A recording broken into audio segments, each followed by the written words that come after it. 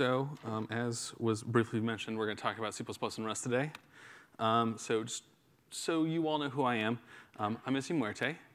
And um, I'm a C++ Bruja. I do a lot of dark magic stuff with C++. If you know me personally, then you know that I do some really cursed things. Um, I'm an aspirant Rustacean, so I do do a bit of Rust on the side. Not my day job. Also, don't really contribute to a lot of projects just because I'm busy because uh, as of lately, I've become a bit of a CMake war criminal. Um, so um, I do some really disgusting things in CMake as of late. You could also make the argument that I'm not a C++ programmer anymore. I'm a CMake programmer that just happens to know C++. C++. Um, I promise not to talk about CMake today. Um, I did that at the uh, RustConf last year, and at one point, someone just kind of walked away a little, little like depersonalized, disassociating, like, I just wish I didn't know any of what you just told me. Um, uh, and then uh, Michael made this uh, tweet the other day. Uh, it's been zero days since I had a truly cursed idea, and that's pretty accurate representation. Um, I care a lot about developer workflows, uh, build tools, um, making it so that you have to type less at your computer, because the more we type, the higher, higher chance of having arthritis as we get older increases. Um, I also currently hold the record for most papers submitted to a single C++ standards meeting. Um, that was completely by accident. My name was on 20 papers. I don't think anyone's going to break that anytime soon. Um, so just, just to give you an idea that I do care about C++ a little bit. Um, I started teaching myself C++ about 10 years ago by writing a build system. Don't learn how to program by writing a build system. if you have a friend that is like, I'm thinking of writing a build system, tell them not to. Care about your friends and the people around you. Um, I've been paying attention to Rust for a while. Uh, Steve kind of made, made mention of 0.5 and uh, the kind of the syntax of you know, the, the old tilde t, um, back when tilde t and at t were still a thing. This was before the borrow checker and uh, when I, I, think everything was still either like uh, equivalent to a unique pointer or a shared pointer in the C++ side. Um, and iterators were still more Ruby-like. So the, the current stream iterator implementation um, that has been used since uh, you know forever uh, wasn't really a thing. Um, so that's my Twitter. Um, that's my GitHub. Um, it, yes, it is Slurps Mad Rips. Um, I can go into the story of why I chose that username in 2012, but let's not right now. Um, and I also just want to set up some, some boundaries real quick. So, you know, any questions, uh, let, us wait until after the talk.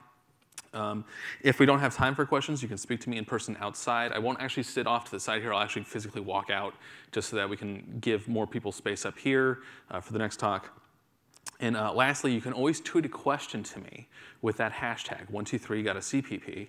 Um, I, and, and, I actually check this hashtag every couple of, every couple of weeks um, because uh, you know maybe you're watching this at home, maybe you had a question that you wanted to ask me, forgot about it, then remembered it on the way home um, after the conference.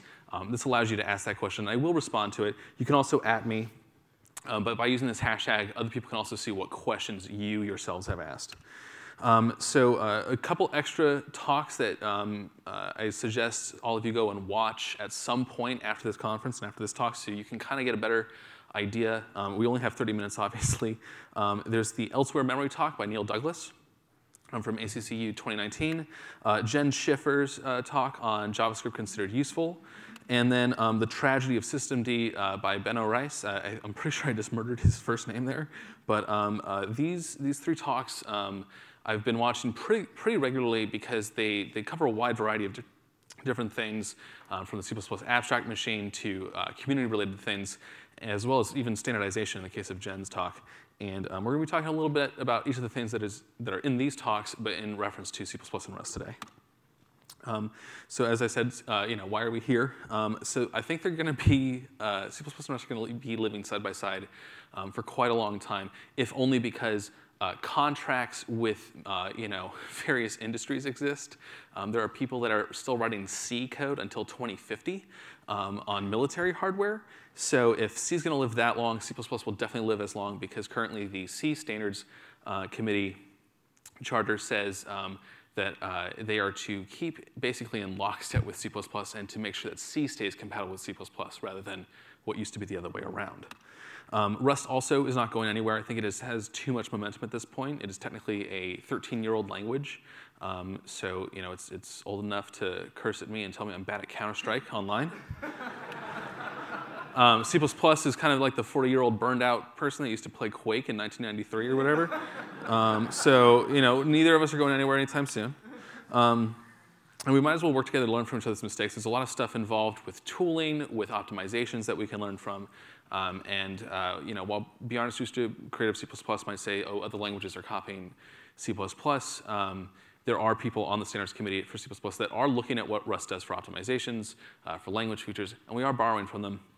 I've submitted quite a few papers in, in regarding that. So just to give you an idea of like how similar the languages are, um, we've got a, a, you know, a lot of stuff um, that is similar, but our terminology is starting to drift, kind of like you know how um, you know the Romance languages drifted, and if you speak Spanish, you can kind of understand Italian, and if you speak Italian, you can kind of understand Spanish.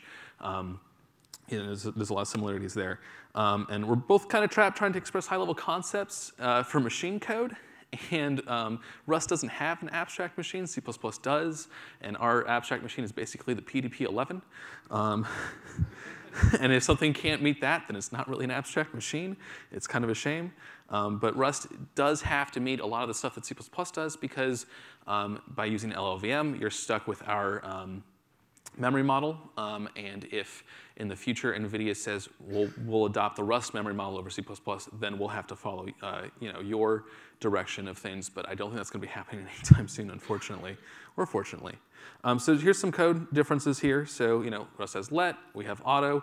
I didn't put auto const because um, you don't want an auto const R value reference, and that's Let's not, you know what? Let's just not get into that part of the language. It's a kind of a landmine. Um, Rust has the turbofish. We have both um, uh, the, uh, I apologize, I use Fira Code. so that's why it looks like a diamond there, um, uh, as well as the uh, scope template syntax. Uh, the, the former of that we use less nowadays. Um, we're relaxing type name and its usage, and it's making writing generic code easier. It also means that this kind of uh, you know, scope template thing is disappearing. Um, the if let sum or if let you know some value uh, expression uh, is kind of equivalent to if auto x equals some uh, Boolean expression. Uh, and um, moving into more um, literals in C++ 20, we still have to write using this stupid macro from C, cstd int int64 underscore c to get an actual int64t. Um, whereas uh, in 23, due to the paper I'm writing, um, we, can, we will actually be able to write the same thing that Rust has. Um, and that is actually a library feature, not a language feature, because um, we're so cursed. We said, hey, what if anyone could just write whatever suffix literal they wanted for a given uh, built-in type? And someone said, yeah, that sounds cool. Um, our, our uh, integer separators are a bit different. Uh, Rust has borrowed from a, variety of other languages, Python, Ruby, um, I think Perl maybe. Um, but a lot of people are moving in this direction of you know, using the underscores as a uh, digit separator. Um, we chose the single quote in C++ because it kind of mimics this, the uh, choice of uh, a period or a comma without us having to get into localization issues.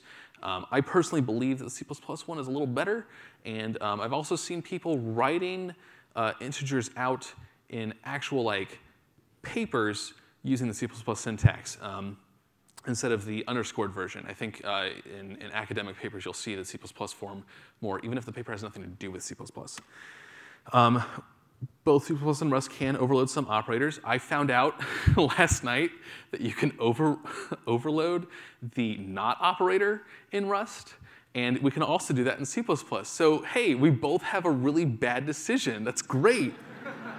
Um, Rust moves are equivalent to a new concept that we're trying to try out in C++, which is called relocation.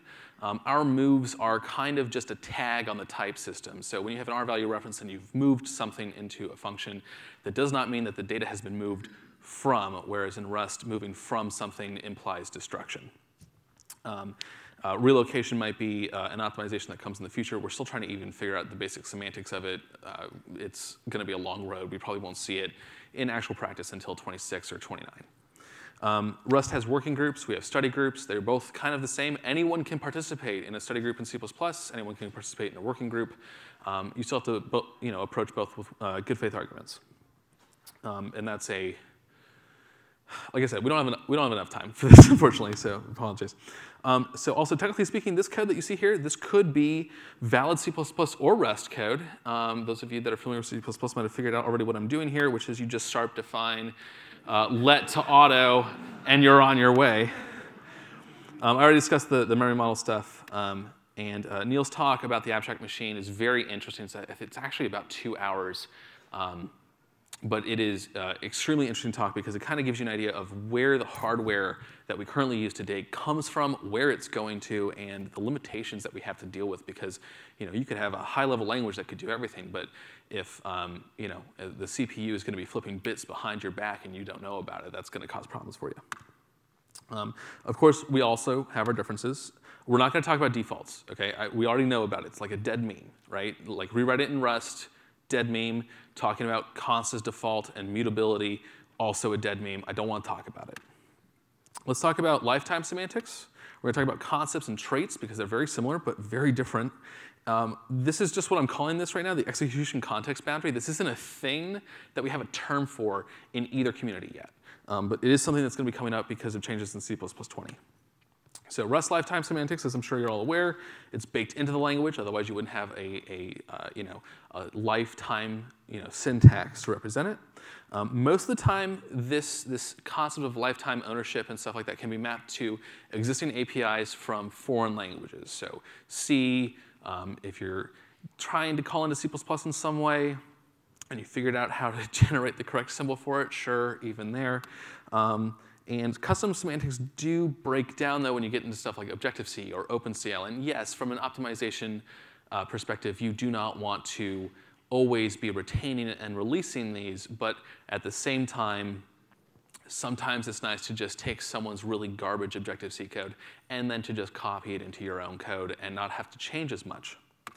Um, C++ lifetime semantics, um, we don't have any. we, we literally do not. Everything involving unique pointer, shared pointer, um, all of this stuff has, uh, is defined by the library portion of the standard. So the, the language doesn't have a concept of a unique pointer of um, ownership and releasing ownership uh, of, of um, you know, incremental counts and dereference counts and all that other stuff, or sorry, decrementing counts. But uh, so as I said, everything's library defined, mostly. Obviously, value semantics, destructors, and stuff like that, those are at the language level. Um, both languages have this concept of DRES. I'm not going to use RAII because one, it's a terrible, terrible acronym. It's impossible to pronounce, right? It sounds like a bread if you just say it out loud. Um, whereas DRES, you can make a joke about Tron and everyone's going to understand, it, like immediately, right? Um, and yes, I know a drop does not imply a destructor. It could be a scope-based resource, but DRES just sounds cooler. Um, as an example, um, retain pointer. This is a type I've been working on. So uh, retain pointer, I first wrote it, uh, the proposal for it in a night in 2016, um, because this is a, a type that is meant to you know, work with C APIs like you know, OpenCL or Objective-C, because Objective-C is a C runtime. Um, it's meant to work with you know, COM and DirectX and uh, some parts of the, the Mono framework. Um, web browsers have implementations of retain pointer inside of them. Um, uh, Safari specifically inside of the WebKit tool framework, which is namespaced as WTF, has a type called retain pointer, as it turns out. I did not know this when I wrote the paper. Um, and then also it's useful for implementing async APIs. Basically, std future, um, std shared pointer, std weak pointer, std exception pointer, and um, std retain pointer itself, all of these can be implemented with retain pointer. Uh, on the Rust side, if you had an equivalent to retain pointer, you would be able to implement both RC and ARC um, in terms of a retain pointer. So this is a very low level type. Um, and it introduces this concept of adoption, right? We have, we have the concept of extending the lifetime of a type we had the concept of ownership of a type, but we do not have a concept of a, a value has come in from some boundary that we do not know where it might come from exactly. We just know that it has come in from a function, and we want to be able to use that type for a brief period and eventually kick it out of our house. So kind of like adoption, but not maybe not the best term in that case, I guess. So, um, so um, uh, this, this type is um, there's a, someone on Twitter whose name is uh, Arvid Gerstmann. He is uh, a bit of a firebrand in, in that he disagrees with everything the C++ community does and says this is just overcomplicated. I don't care about this, so neither should you. Um, but after I presented this, uh, this updated version of Retain Pointer in 2018 last year, he came up to me and said, I've implemented this six times in my code base. I'm replacing it with this. And if Arvid says this is a good idea for the C++ standard library to have, then maybe you're onto something. Um, so let's talk about traits versus concepts real quick. So Rust traits are maximally constraining, right? If, if, if a type does not mention what traits it uses, you can't call any member functions on that, right? Whereas in C++, they're minimally constraining. C++ says this type has to meet the basics of this interface, but other than that, go hog wild. I don't care if this function doesn't exist, if I have to do a lookup later, you might get an error there. And so more work has to go into a concept to make sure that the minimum interface is being met. Um, and we're going to um, also discuss briefly, so they are now, I had to add this literally five minutes ago, um, special members, which are constructors, destructors, copy constructors, assignment, um, are now follow the best fit model as of Cologne, which was back in June.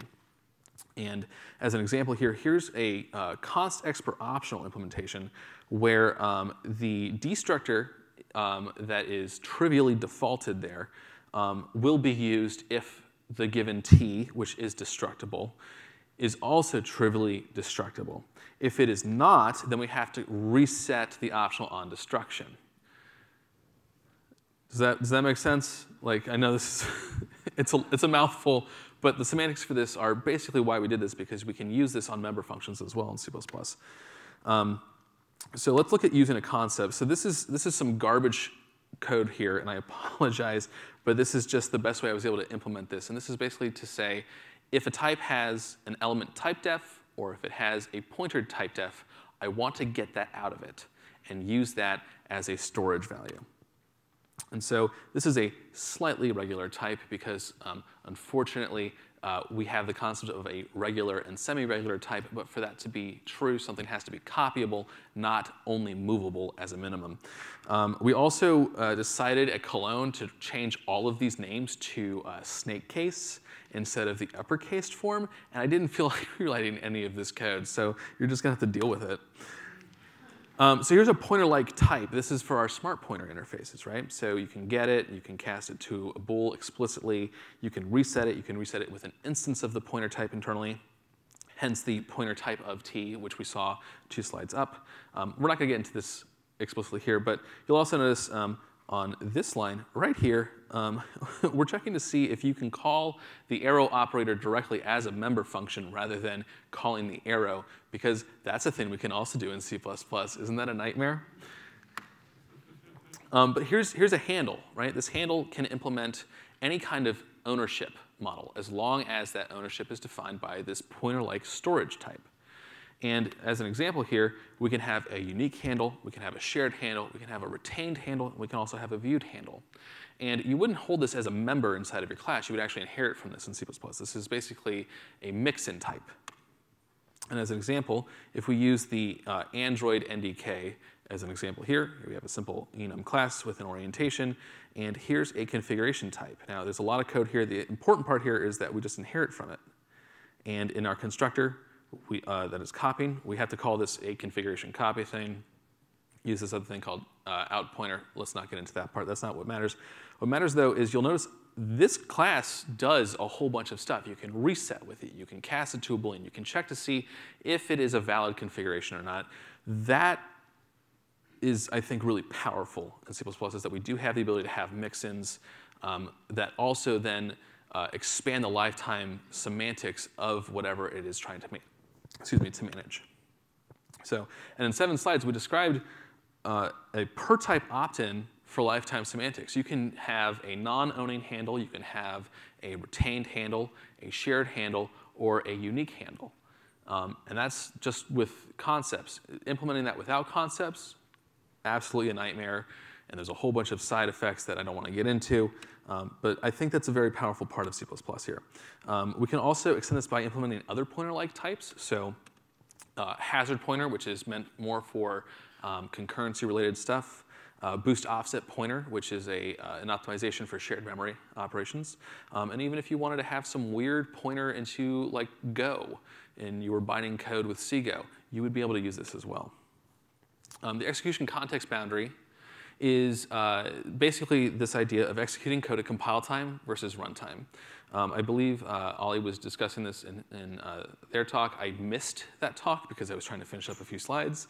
I apologize for that. Um, but const generics versus const expr and const eval is basically where we're getting into this. Uh, C++ has explored this in a lot more areas. Um, our compilers are starting to implement bytecode interpreters for const expr um, just for speed purposes.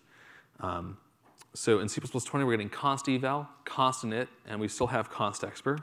Um, we're not going to talk about const init. It is a terrible keyword with one specific use. A lot of people don't understand its meaning. I am one of those people, so I can't explain it even if I wanted to. Um, functions are runtime by default, as they are in Rust.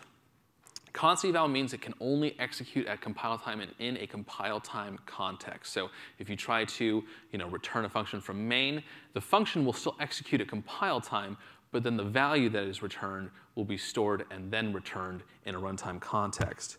Const expr is sometimes at compile time, and this is where the bridge uh, co uh, concept of a bridge between these two uh, boundaries for uh, execution context comes in. Um, we can now detect in C++20 if we are running underneath a const expr um, context or not, and then change our code dependent on that. In C++20, we will be able to have const expr SIMD semantics because at, uh, you know, at compile time, we just do what it would normally do in a non-efficient way, and at compile time, we can actually insert uh, assembly instructions, right?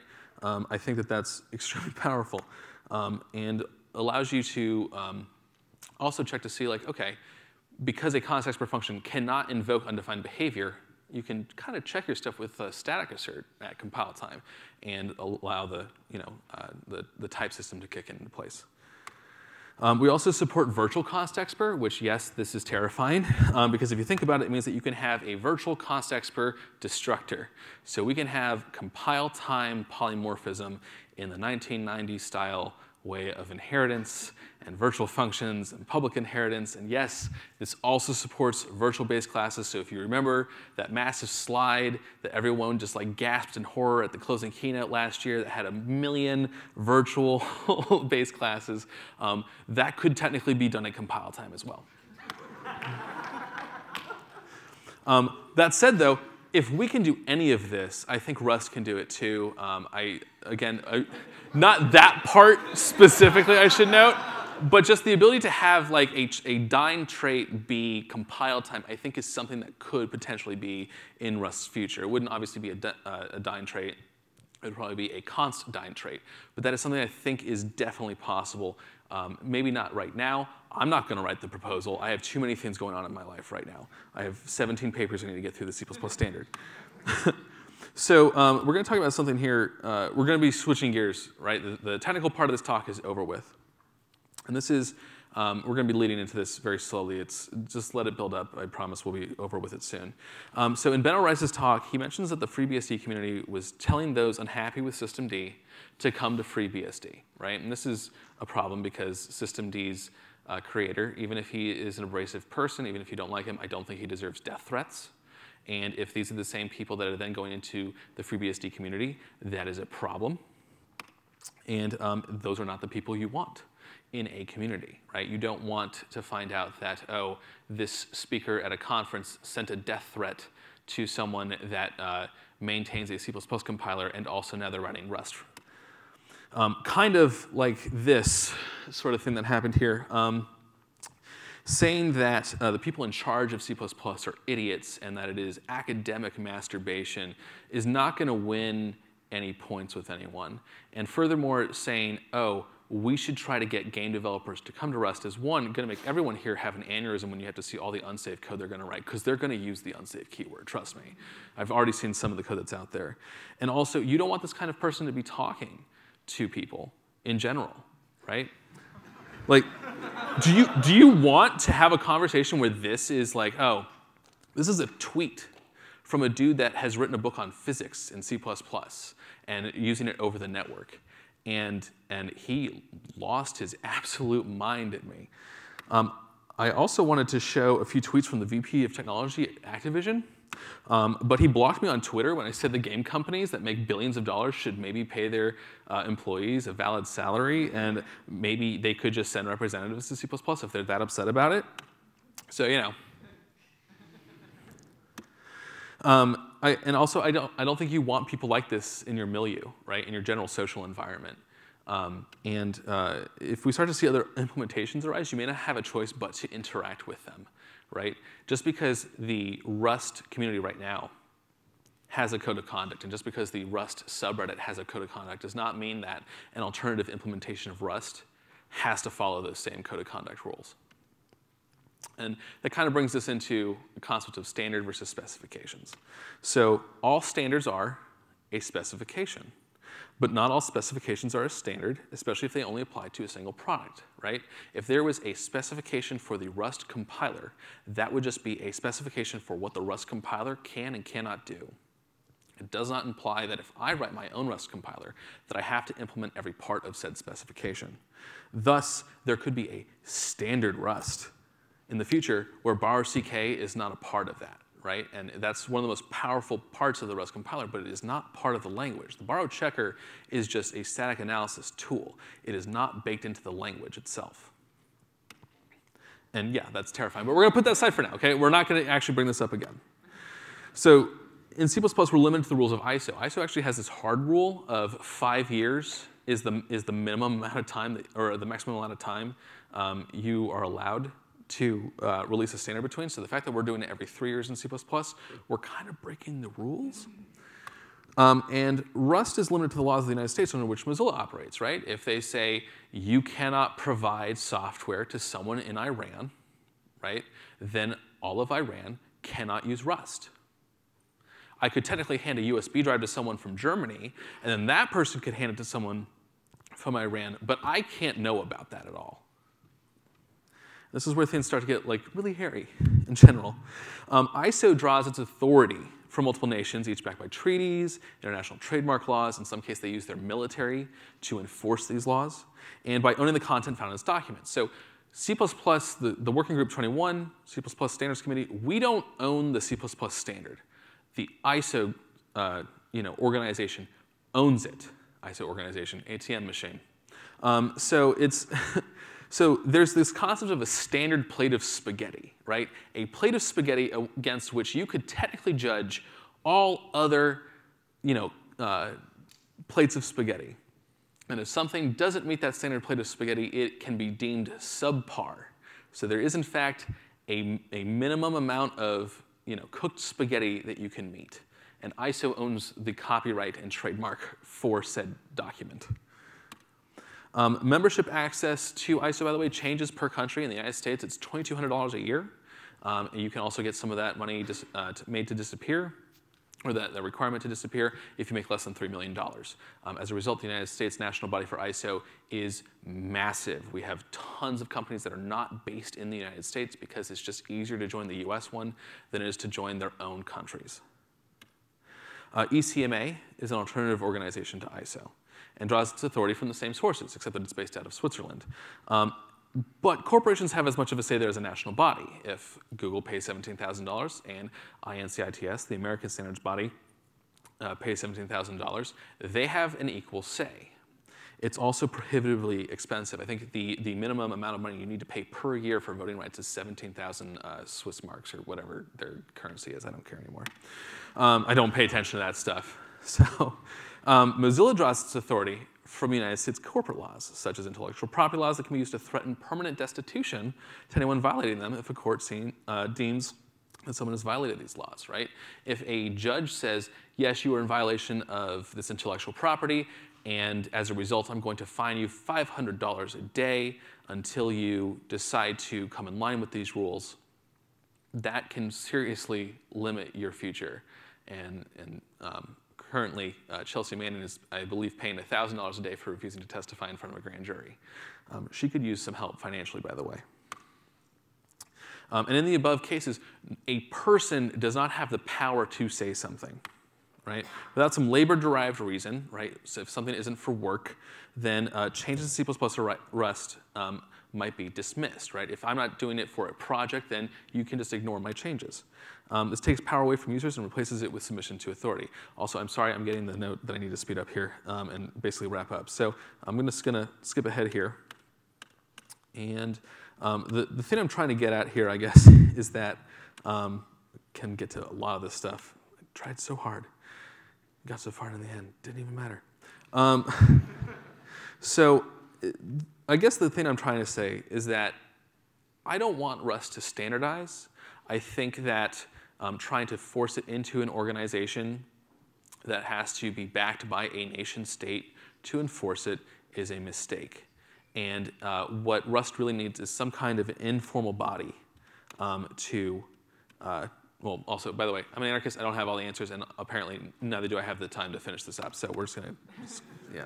So, so if an informal body for a formal standard does not exist, I don't know if it could exist and how you would even enforce any of these things. It's very difficult to talk about this stuff, and this is something that I would rather have had a lot more time to get to this point. Maybe I should have pushed it further up in the, in the talk. Um, and uh, you know, you all have a responsibility yourselves and your communities, but also to the industries we work in. Um, and uh, I guess I'm just going to close this, this, talk up with this. Um, you know, if, if you want to hide horrors and fight to prevent major catastrophe and unite humanity so we don't have to feel pain or be alone, that's not language evangelism. That's language evangelionism. and I'm sorry that this talk ended up going over the time here. Uh, I guess we're out of time? Yeah. So um, I, I, will be putting these slides up on GitHub, so uh, feel free to check that out later. And um, if you want to actually have the important part of the talk that I wanted to get to, which is please don't make a standard that has to close off access to the current milieu that is in this room, that is at this conference, that is at other conferences, um, and requires people to pay to, to vote. Um, I highly suggest that you you look into alternatives even if they don't exist yet, even if you have to make something new. Thank you.